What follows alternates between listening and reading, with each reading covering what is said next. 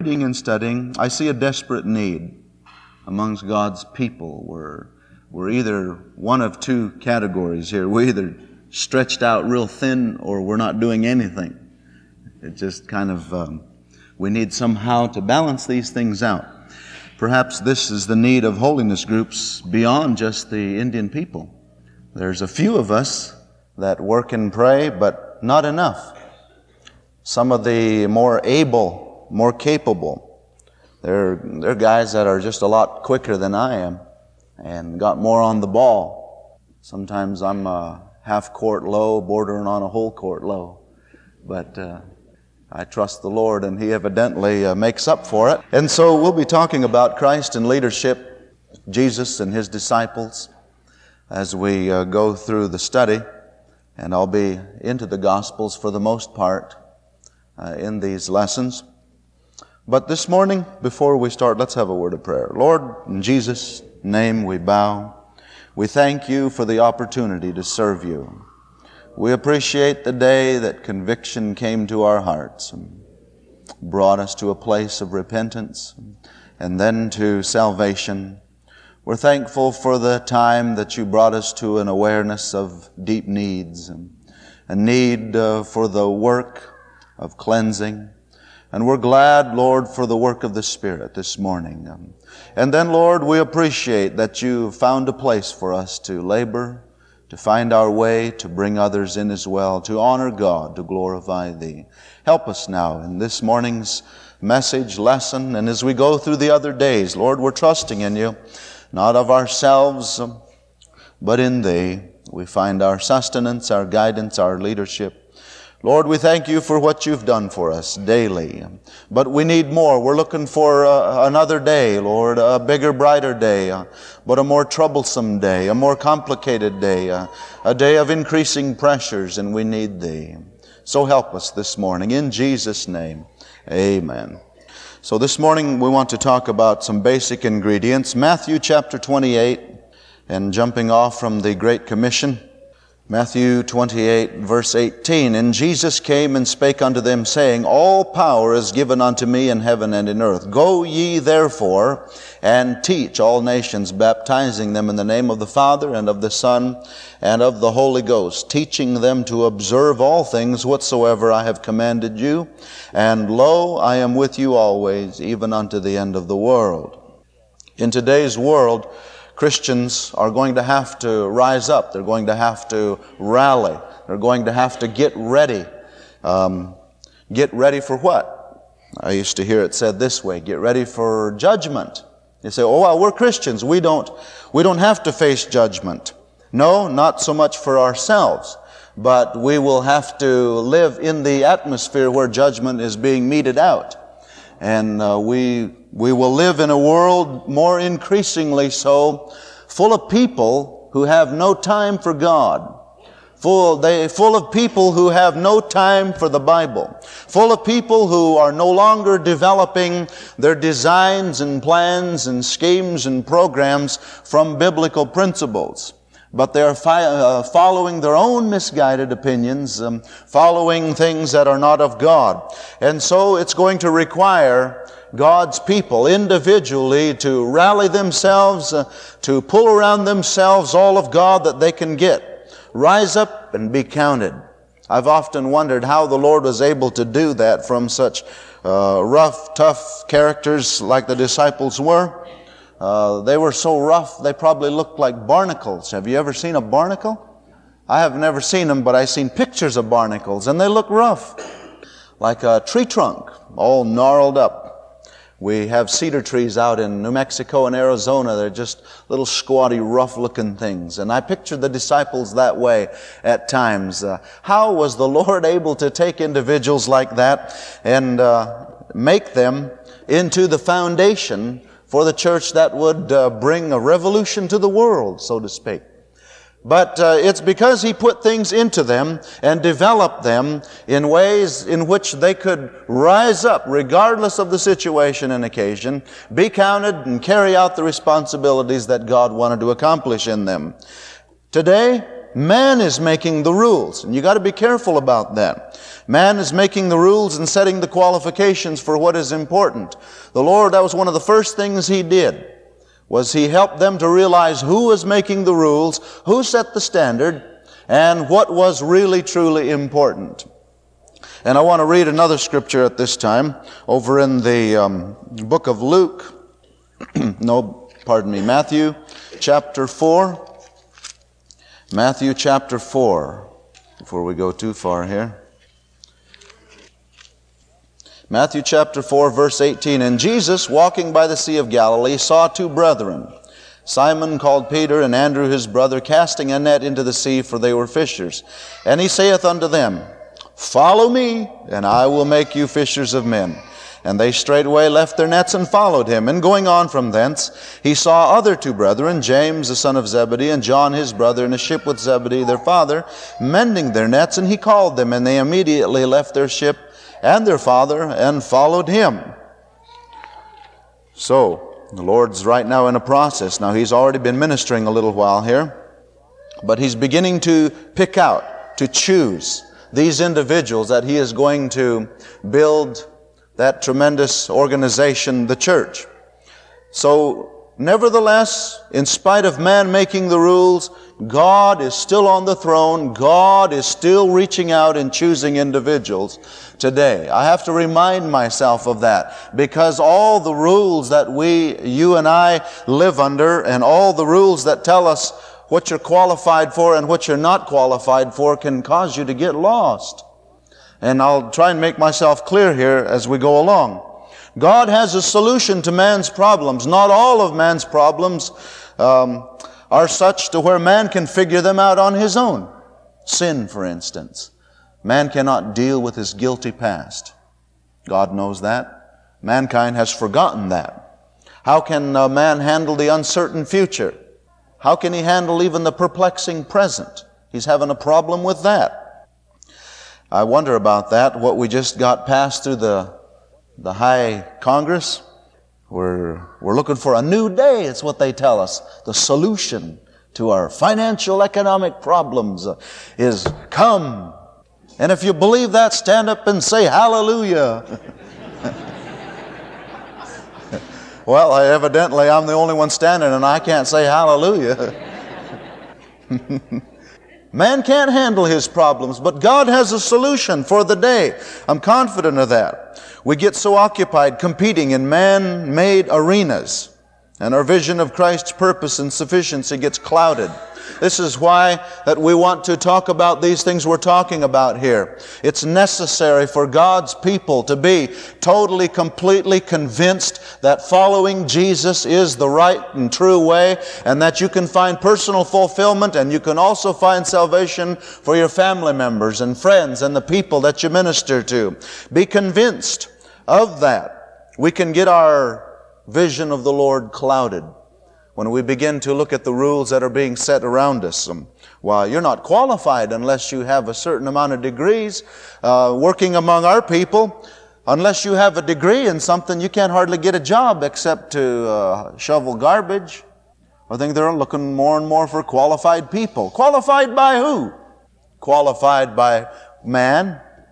You see, man's making the rules today for the most part but uh, he's only making them in certain arenas. He hasn't made the whole standard of life and living and purpose and eternity. God made and set all that, and he established that. But mankind is stepping in now more and more, and he's making more and more qualifications for himself. And unless you understand what we're talking about and understand your own relationship with the Lord, you're going to wonder if you're even qualified to do what you do as a Christian. We will have brought down upon us more and more laws and situations that will tell us what you can and cannot do as a child of God. Man making the rules outside of God is going to eliminate God. But when God is in control, He brings people to God, brings them to Himself in a more fuller and a greater way. God given talents and God given training are adequate for man's needs. Amen. Well, I didn't always know that. That's because I'd been listening to the educational system. The educational system said, graduate from high school and go to a college or university for four years and then get a master's and then go out and get a job and become successful. That's what they taught us. That's what they teach. I hear people coming out of these places all the time. That's what they've been taught. They've had to sort their way through these systems in order to find their way for the objective which they were after. Lest you lose that vision of Christ, you need to be on guard, watching. Understand fully that God-given talents, God-given training is adequate for man's needs. I have to wrestle with that. You know, God showed me something peculiar here not too long back. I was riding down the road. I'd been needing an answer on a situation. And uh, didn't have anything to do with remaining a Christian. It just had to do with some other issues, like what we're talking about here. And the Lord broke in upon me that day and very clearly revealed to me that if I'll follow Him completely and totally, He would take care of me.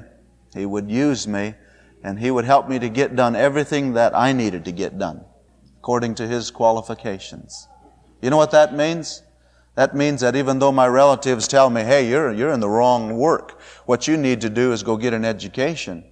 You're, uh, you're kind of wasting your time. What you need to do is learn something to make a gob of money. You're wasting your time here. Don't you know that uh, people don't believe that way anymore except for certain little uh, cults? And groups. Don't you know that uh, those things are outdated? You need to get in step with the times. In spite of all that we're hearing and the pressures that are upon us, God reassured me that following Him was right and true and that I could be fulfilled and fulfill His uh, requirements as well. That just encouraged me. I just kind of gritted my teeth again, fresh and new, and doubled my fist and said, We're moving on. Praise God. If our personal value system is correct, then the height of educational attainment is a thorough development by God if we will dedicate ourselves to His mastery. I know we don't want to hear that today because we're so consumed in the qualifications that man says that we have to have. And don't misinterpret anything that I say as a downer on anybody pursuing further knowledge. You have an objective, you need to pursue it, but do so with an eye on Christ confident in where you are with Him. But uh, more and more, we're being told that educational attainment, the height of learning, is not in the church. It's not in the things of the Lord. It, definitely not among those perfectionists who believe in being sanctified. Definitely not among that group that dresses different and acts different and abstains from a lot of other things in this world. You're not going to learn anything. You're going to get narrow-minded. You're going to lose your way. You'll be left behind. Well, so be it. God told us, and He exemplified it over and over. As you read the scriptures, you see where God took these humble, unlearned, unkempt. They probably stunk like fish, some of them. And fish stink, believe me, when they've been laying around a while. And uh, here they were, kind of looking the situation over, and the Lord said, Follow me, I'll make you fishers of men. Very powerful statement um, as we get into it a little more. If we dedicate ourselves to His mastery, Jesus will accomplish for us what He accomplished with the twelve. How did Jesus transform the twelve so that they could transform the world? I've asked that lots of times, wondering what did the Lord do with those guys? I work with people like that. Fact is, I was people like that. How could the Lord take an individual like myself and do what He did? Well, I'm trying to understand that. How did He do that with the 12? Those are questions that I ask myself going into this. How did He put together a team with a single eye and a cause who before that had no greater purpose but to catch a bunch of big fish? How was he able to develop in them the desire to go forth and win souls? Um, Good question. If we could learn that, perhaps we could begin to see the kind of progress that we pray for and that we desire. We often pray for revival. I tell some of our missionaries, folks, you're praying for a revival. You better get ready. You better get prepared to handle them when they come then. You're not prepared to handle 10 converts. 10 converts will wipe you out. You know how much time two converts takes? Lots of time. I think about uh, some of the folks that helped me when I first got saved, how much of their time I took, all nights. And uh, poor Sister Gall, she'd wake up all, she wouldn't wake up, she was already up. Bleary eyed, she had taken the time to help the new boy. She had taken the time to help him to learn something about Christianity. Well, the Lord had to help these 12. He had to give them time. He had to give them involvement in order for them to get to the place to where they could develop that single eye, that purpose and cause. He had to be involved with them. He had to give them a definite purpose and so that they would develop to the point of devotion to Christ and have the motivation to be able to follow through after he was gone. We develop too many dependents individuals who are dependent on us to have to be there all the time, all the time. The Lord was looking from day one with His disciples to get them to a point to where when He was gone, and it was already planned, He was going to be gone in just a few years, He was getting them to a point to where they could go ahead and take off and do everything that needed done. And he put together a tremendous team. He built in them the ability to influence others and lead them in the true way. Are you developing your Christianity in, with that in mind? Do we develop our righteousness so that others can follow us? Do we develop our ministries so that others can get involved in it and follow the way? I've seen a good number of God's people through the years. The ones that are the most successful are the ones that are developing their Christianity and their ministries so that others can get in and follow them and do better than them. Very simple, isn't it? He built in them the ability to influence others and lead them in the true way. Christ instilled. Maybe, maybe I better say it this way. There might be some computer freaks in here. He programmed principles into them. And maybe you understand it better that way. But Christ developed in them principles, just like we do with our children. He was working on these guys, principles in them, and then developed them into a level of efficiency that he was convinced would get the job done, that he needed done. So first of all, he put the principles in him, then he developed them through practice over and over and over and over and over. Over and over and over, he was working on uh, things like humility, uh, things like uh, initiative, uh, motivation. He was working on things like righteousness and purity, helping them understand principles and then giving them the practice to do it. That verse we read there, I will make you fishers of men. I will make you fishers of men. As a Christian, as God's person, as an individual who is totally in His hands. That's what saved and sanctified means. I guess we all know that and take that for granted. We teach what we know and we reproduce what we are. Jesus said, I will make you fishers of men. He knew what he was talking about and he taught them to do what he did. We teach what we know, we reproduce what we are. If the people that follow us our youth and young people, our converts, if they are not producing what we are preaching and telling them to, chances are it's because we're not doing it. We're saying it, but we're not doing it. I think of that often. I uh, look at uh, individuals and wonder, well, why aren't you doing any better than that? My wife, sometimes she's a great motivator. She says, um, well, you know, you don't do so hot yourself. what? Who are you? You're three years younger than me. You're not submissive.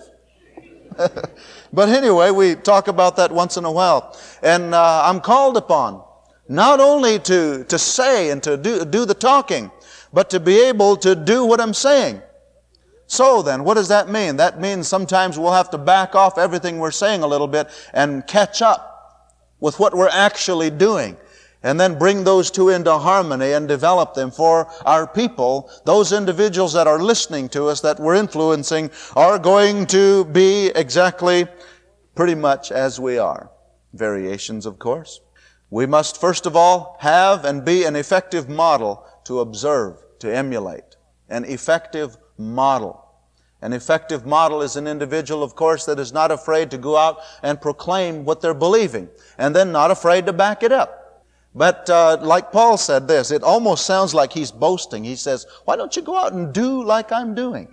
And uh, I think about that as well. Can I say that? Go out and do what I'm doing? I can say that perhaps in certain areas, but what about the complete spectrum? What about in the overall area? I said, well, you know, my marriage isn't so hot. I don't, I wouldn't want you to follow that. A lot of marriages, I definitely wouldn't want to model mine after theirs either. She beats him with an ugly stick every day. Or he thumps on her. It works both ways. Well, definitely an area that is not uh, right up, but he's a good preacher. Got a good preacher friend. Well, he's not a good friend, but he's a preacher friend. He can really preach. it's not that I don't want it to be. I'd like to be, but he won't let me. He can really preach. But this guy is so hard in dealing with people, he undermines every bit of good that he says. What he's saying and what he's doing aren't going together. He's not an effective model. He's a model, but he's not an effective one. Here's where Christ uh, comes in and reveals to us the, uh, what do you call it, the perfect model of effectiveness in doing what he does, in t- trying to help us to follow him. He's a perfect model to observe, to emulate, to observe. I think the last time we were here, we talked about the matter of looking at Jesus and seeing in him the model of everything that we need and ought to be. And here again, we're looking at one who can model for us the qualities, the traits, and the things that we need. We often are not so much watching him as we are watching one another. The second thing that we need to understand, along with we need to have a model and must be a model to observe and emulate, we must have principles with which to build upon. So we need to teach. The Great Commission said something about teaching. Wonder why he didn't use the word preaching. I wondered about that. But he said teaching. Well, there's of course a lot of things in that scripture, but I like the way that it's uh, it's rendered to us. I like the idea that I get when I read that. He says, go out and teach them. In other words, model for them, lead them and guide them and help them understand. Instill in them principles and then help them practice those principles so they can go out and do what I have done and what I've taught you to do. Go out and do that. Instill in them. Christ possessed both and He gave both. He's very qualified to say, I will make you fishers of men. I said, well, I don't want to be fishers of men. I want to do something greater. Tell me what's greater than being fishers of men. One of the, one of the overriding reasons that I still preach, and I'm convinced that it's the way because there were people I looked to who their whole purpose in life was to preach the gospel of Jesus Christ, to teach people about holiness, and to lead them in the best the way as they could. Many of us are here simply because there were people who did that. That was all they did. That was their main purpose. That were their whole focus. That was their whole attention. They left off other pursuits. They left off other uh, walks of life, careers, money, positions. They left all those to preach the gospel of Jesus Christ for the sake of their soul salvation. And we looked and we, th- we said, because it was being um, modeled before us, that's important. That must be important. It must be important if these intelligent individuals give their whole life for the sake of preaching the gospel and teaching people about Jesus. Great results do not always have to come from those who qualify by man's designed recognitions. By man's designed recognitions. I heard a preacher uh, some years back anyway, I don't know how long ago, he said, a lot of people miss the way when they begin to reach out for the recognition that man gives them, and they begin to lose their way. Great results are not restricted to those who are greatly qualified by man's standards. God, in using these 12 that He chose, He showed us that He could take ordinary individuals and uh, through a process of development bring them out ready to face the fire, the flood, the opposition. He brought them out with thorough training, able to teach people to do what they do, teach people to do what he did. He brought them out. They were qualified to go out and bring many people in. Did they bring a lot of people in? Of course they did. We bring people in and we try to get them educated within the first few weeks. I know we've missed our way a lot of times with individuals. Fact is, I think a few times we tried to educate them in everything while they were praying at the altar. And uh, half the time they didn't even know what they were seeking for down there. God can qualify us to be great, to bring, to bring many souls to Himself. God can qualify us. That's not hard to understand.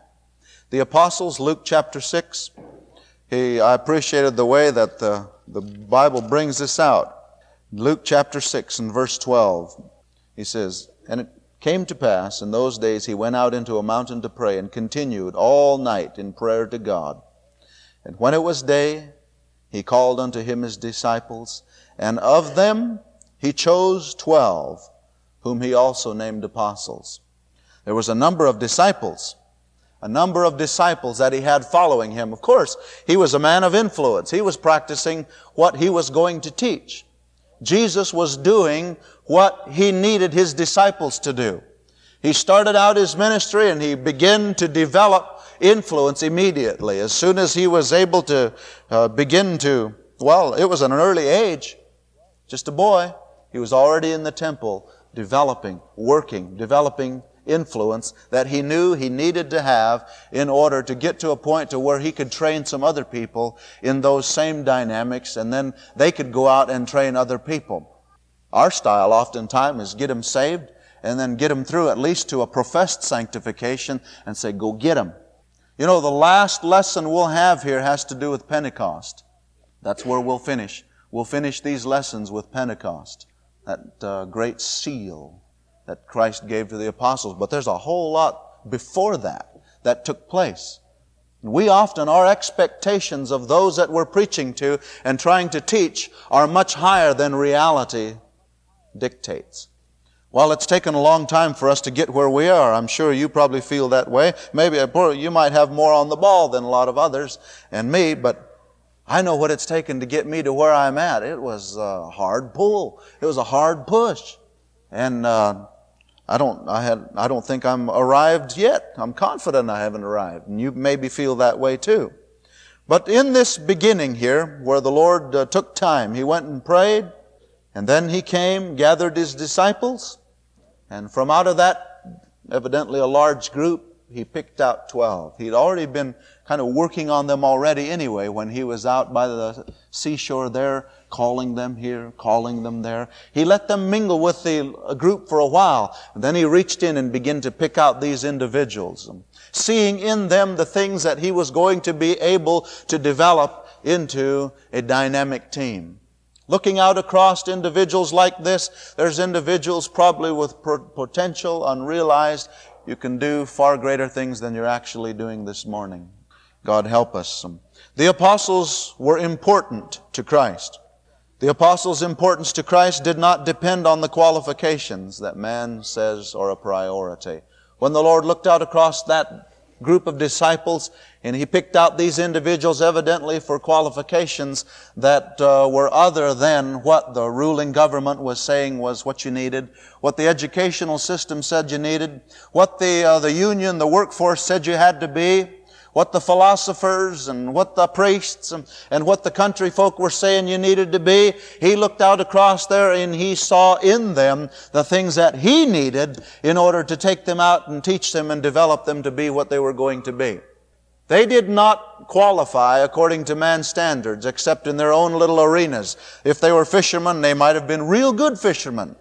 Good tax collectors, they might have been a real good tax collector. They might have been good in their fields, but that's not why the Lord chose them as such. He had other and deeper reasons for choosing them. God had to take and give these individuals an increasing sense of their own importance to Him. Note that. Not an increasing sense of importance in and of itself in them for them, but importance about them for Him, to Him. To himself, he is always drawing individuals and bringing people. Christ said, to have influence, you have to be able to get followers and teach them. It tickles me when I see someone get up, a professed leader, and they tell you how to do it and tell you what to do, but they don't have anybody following them. And the ones they did have following them gave up on them. The ones they could have aren't ever going to because the longer they're in, the worse they get. Jesus said that if you're going to get followers, you're going to have to learn how to do that, and I'll teach you how to do it. You follow me, I'll make you a fisher of men. You follow me, and I will help you to draw out from the fabric of this society that you and I live individuals who will completely astound you for what they can do for the Lord. We haven't yet seen what God can do in our world totally. We've seen lots of what He can do. Wouldn't you like to see more of that? I think to myself, Lord God, if you can do that, please do. We need more Indian preachers. The ones that we have are few. The ones we had are gone. Gone. Why? Because the man designed qualifications out there said, hey, you're worthless where you are. Come and join us. Had a ex-preacher's wife say to my wife, no, say to another preacher's wife who conveyed it to my wife. Just leave that out. It's a hindrance to you. This way of holiness, the church, it's a hindrance to you. Leave it out and come with me. I'll show you what you can really get out of life. That's a real tricky thing today. I didn't know, I didn't know it was such a problem until I watched a number of people begin to go that way. Where they're listening to the voice that is saying, hey, what you're doing here in this camp meeting is a waste of time. It's not going to fit in the new world that's coming. We already knew that, didn't we? We already knew it wasn't going to fit. And we already decided we're not going to fit. We've already made up our minds we don't want to fit. The challenge we have on our hands is to bring some others in who feel the same way, who see it the same way, and who are ready and willing to live and perhaps die that way as well. The Lord God looking on these apostles, these twelve, He says, all right, boys. And He knew they were going to give their lives in the end. He had to get them ready for that. And you and I have a task on our hands. Um, we, many of us, are not even ready for that ourselves. I'll tell you, man makes the rules. I think about that at times when we're working among our people. They're sometimes bewildered at some of the regulations and the rules and the requirements that society places on its people, our uh, American society. But I thought about it one time after I'd heard some these opinions, and I said, well, that's the way it's going to be. The dominant people have made the rules about how you're supposed to live in this, this country, this society. And if they made the rules, they're going to make the rules in such a way to where they can live up to those rules and make it. It don't matter what anybody else can or can't do, you'll have to come up to their rules because they made the rules. So therefore, uh, they say, well, do you have a title to the land? Indians have never thought much about titles to land. They say, well, don't you know the laws? A lot of Indians don't know the laws about that. Their lands are separate. They don't pay taxes on them. And uh, they just don't, it's recorded in their record systems what land is whose, what goes where, the inheritance of it all. There's not really any titles on a lot of Indian land. So they don't understand that. It's a new rule to them for many of our people. But when they get out of that frame, they get out of that little society, that reservation, they run into those laws and they say, my, this is new. Where'd this come from? They say, well, white men made the rules this way, and this is what you have to do if you're not going to live here. if you're going to live out here, you've got to live by these rules because they made the rules. And if you're going to make it, here's what you have to do in order to make it. So, okay, I begin to catch on. And so they have a lot to learn in that way, a lot of them coming out. Well, we're living in a, a world and a day where man has made the rules, and he's making the rules more strict and more strict and more strict and more strict. And they're away from God increasingly so. The laws are getting such to where we are going to be required legally to go against what God's Word teaches us. We're approaching it very quickly, where we will be required by the law to stand against, to practice the things that God's Word says are wicked, are evil. We cannot support that. We're already paying taxes into a system that is using those monies to do dastardly evil and wicked things. It's a, it's a borderline situation now as to how our money is being spent and uh, the things that it's funding. It's a shocking situation out in our world today. When I was up in Canada, uh, not too long back, some folk were telling me, they says, you know something? There's an art display down here in the city of Calgary that is the most vile that they'd ever seen. It depicts the twelve apostles. They were made into male sexual organs in this picture at the Last Supper. I thought, man, I just, I still can't get over that. I hate to even say it here, but I want you to get the, the weight of this thing. It just still shocks me. I just can't imagine somebody sinking so low and getting so dark and so far away from God that they would take that uh, that time, that event, a special event, sacred, and picture it so vile. Think about that a little bit. Oh yes, we're coming to a time when the qualifications, the rules that man is setting is going to require you and I to say, this is as far as I go. This is as far as I go. Unless you're well acquainted with the author of your salvation, you'll not be able to take that stand. You'll not be able to stand up and be counted unless you can do that. Unless you're confident in the one who called you out from among them to be his child. Well, Christ's involvement is such to where he wants to help us to get to that place. He involves himself with his people.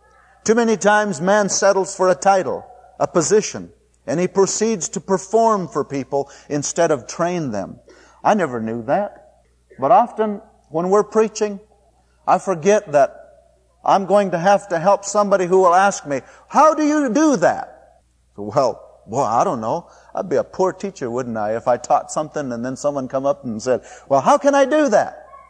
So, man, you know, really, I don't know. I don't know how you do that. Let's go ask somebody to teach us how to do that. We'd ought to be able to train them to do. We're actually doing more performing than anything else. Why is that? Our involvement, our involvement with our people isn't to the degree to where they are learning to carry on the necessary things.